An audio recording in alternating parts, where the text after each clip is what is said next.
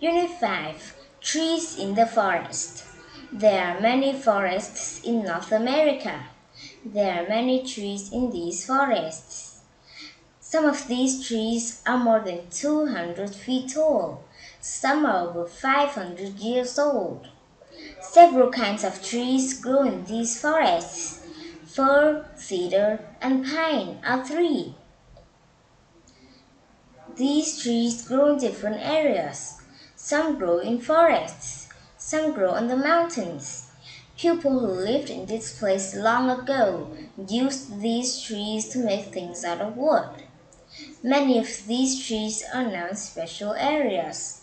These areas are called forest reserves or national parks.